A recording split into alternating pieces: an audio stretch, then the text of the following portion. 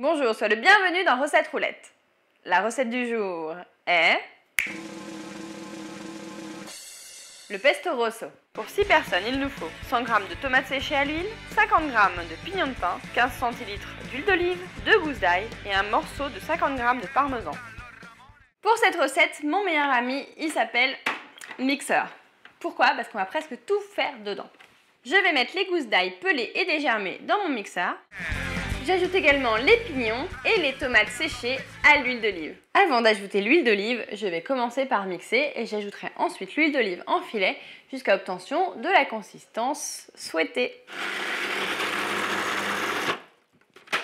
C'est parfait, il a la consistance désirée, c'est-à-dire qu'il est encore un tout petit peu euh, liquide, ce qui va nous permettre quand on va ajouter le parmesan râpé ensuite, bah, d'avoir une texture un peu plus dense.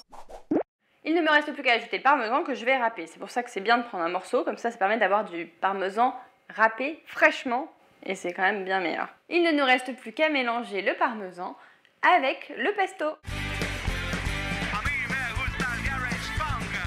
Comme son ami le pesto génois au basilic, le pesto rosso peut se déguster avec des pâtes ou alors sur des tartines pour agrémenter euh, une viande. Enfin, tu Laisse courir ton imagination, tu trouveras forcément une super idée. Et bien sûr, il peut aussi se préparer au pilon avec un mortier.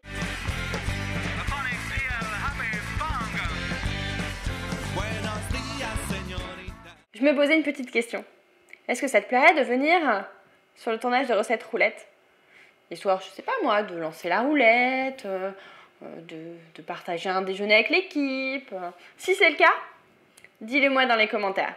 Et si vous êtes nombreux, promis, on fera un petit concours pour désigner le regagnant. Rendez-vous demain à 11h pour une nouvelle recette. Et si tu ne veux pas en rater ni un conseil, abonne-toi à la chaîne Marmiton.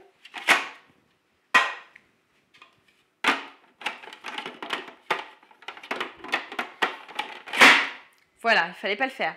Il fallait laisser ça.